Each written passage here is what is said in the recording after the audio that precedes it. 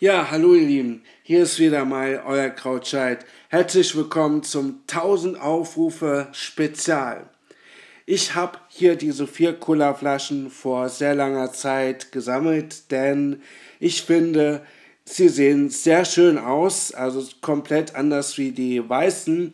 Und ich finde, sie sind sehr selten, aber anscheinend ist das hier bei dieser 0,2 Liter Größe in der Glasausführung der Fall, dass es tatsächlich auch grüne äh, Cola-Flaschen gibt. Ich weiß nicht, was bei der Coca-Cola Firma abläuft, aber ich muss sagen, diese Flaschen hier sehen sehr, sehr schön aus. Ich möchte euch auch mal hier die eine Flasche zeigen.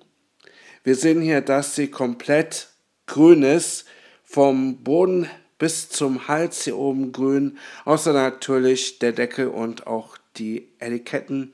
Und hier sehen wir, dass hier 0,2 Liter Cola hineinpassen. Äh, und was mir bei diesen vier Flaschen hier besonders auffällt, ist, dass diese Flasche hier deutlich weniger grün ist als die restlichen drei, die wir hier unten sehen.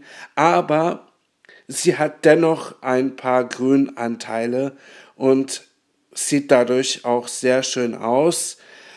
Aber wie gesagt, diese Flaschen finde ich sind selten und deshalb haben sie in meines Erachtens doch Sammlerwert und ich bin froh, dass ich diese vier Cola-Flaschen seit einer langen Zeit bei mir gesammelt habe.